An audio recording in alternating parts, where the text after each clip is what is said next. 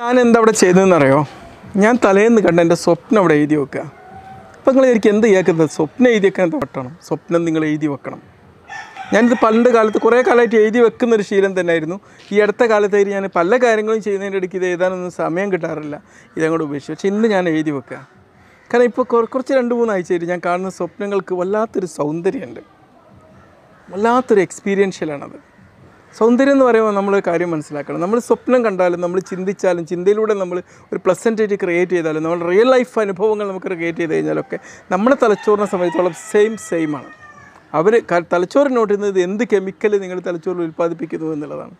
അല്ല അതിന്റെ പ്രോസസ്സാണ് അതിന് ഇത് നൽകുന്നത് പ്ലസൻനെസ് നൽകുന്നത്. അപ്പോൾ എന്താണെന്ന് വെച്ചാൽ നമ്മൾ ഈ ഡ്രീംസ് എഴുതി വെക്കുന്നതുകൊണ്ട് എന്താ മെച്ചെന്നറിയോ?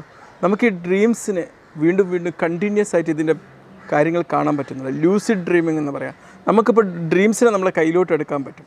ഇപ്പോൾ ഇന്നലെ ഞാൻ കണ്ടത് മനോഹരമായിട്ടുള്ള കോവളം ബീച്ച് പോലത്തെ ഒരു ബീച്ചിൽ ഒരുപാട് വിദേശികൾ ഇങ്ങനെ കുളിച്ചുകൊണ്ടിരിക്കുന്നതും അവിടെ കുറേ ആൾക്കാർ വന്ന് എന്നോട് സംസാരിക്കുന്നതും ഒരാൾ എന്നെ വന്ന് തടഞ്ഞു നിർത്തുന്നതും അങ്ങനത്തെ പല കാര്യങ്ങളുമാണ് അവിടെ കണ്ടത്. മനോഹരമായിരുന്നു ആ സ്വപ്നം. സൺബാത്ത് എടുക്കുന്നു ഒരുപാട് പേര് പ്ലസന്റ് എന്നോട് സംസാരിക്കുന്നു അങ്ങനെ നീളുന്നൊരു സ്വപ്നമാണ് ആ സ്വപ്നം ബാക്കി ഞാൻ പറയുന്നില്ല. എല്ലാം പറയാൻ പറ്റില്ലല്ലോ എല്ലാം ഓപ്പണായിട്ട് പറയാൻ പറ്റുള്ളൂ ആ സ്വപ്നം ഇവിടെ എഴുതി വെക്കുകയാണ് ഇത് എഴുതി വെച്ച് കഴിഞ്ഞാൽ എന്താ ബെനിഫിറ്റ് എന്നറിയാം നമുക്ക് ഈ ഒരു സ്വപ്നത്തിൽ നമുക്കിത് ഡയറക്റ്റ് ചെയ്യാമെന്നുള്ളതാണ് നമ്മളിപ്പോൾ ഒരു വലിയൊരു വലിയൊരു ഒരു ഇതിലേക്ക് അങ്ങോട്ട് വീഴുകയാണ് നമ്മൾ വലിയൊരു സാഗരത്തിന്റെ അടിയിൽ പെട്ടു പോവുകയാണ്. അപ്പം നമ്മൾ ലൂസിഡ് ഡ്രീമിങ് നമ്മൾ പ്രാക്ടീസ് ചെയ്യണം എന്ത് ചെയ്യാൻ പറ്റുമെന്നറിയോ നമുക്ക് അതിനെ എന്ത് ചെയ്യാൻ പറ്റും? ആ പോയിന്റ് ആ ഒരു സമുദ്രത്തിന്റെ അടിയിലെത്തിയിട്ട് അവിടെ നിന്ന് നീലത്തിമിംഗലത്തിന്റെ ഉള്ളിൽ വായിലേക്കൊക്കെ പോയി ഇങ്ങനെ പോയിട്ട് നമുക്ക് കൂടി തിരിച്ചു പോരാം. നമ്മൾ കോൺഷ്യസ് ആയിട്ട് നമ്മൾ സെമി കോൺഷ്യസ് ആയിട്ട് നമ്മൾ നമ്മുടെ ഡ്രീംസ് കയ്യിലെടുക്കുമ്പോൾ നമുക്കതാണ് സംഭവിക്കുക.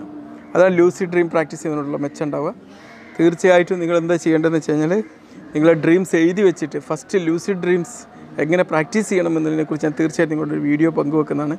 ഞാൻ ഇത് ഇങ്ങനത്തെ എവൻസ് നിങ്ങളോട് പങ്കുവെക്കുന്നത് വെച്ചാൽ ഈ എവൻസിൽ അറ്റാച്ച്ഡ് ആയിട്ട് മറ്റൊരു കണ്ടന്റ് ഞാൻ ഉടൻ തന്നെ പ്രസന്റ് ചെയ്യാനുള്ള ഒരു സാധ്യത അവിടെ നിലനിൽക്കുന്നത് കൊണ്ടാണ് ഓക്കെ കാരണം ഈ എവൻസിനെ കുറിച്ച് നമുക്കൊരു തലയിൽ ഉദിച്ചാൽ ആ ഒരു ആശയത്തെ പെട്ടെന്ന് തന്നെ നിങ്ങളോട് ഷെയർ ചെയ്യുക എന്നുള്ളത് എന്റെ ഒരു ഇഷ്ടമാണ്.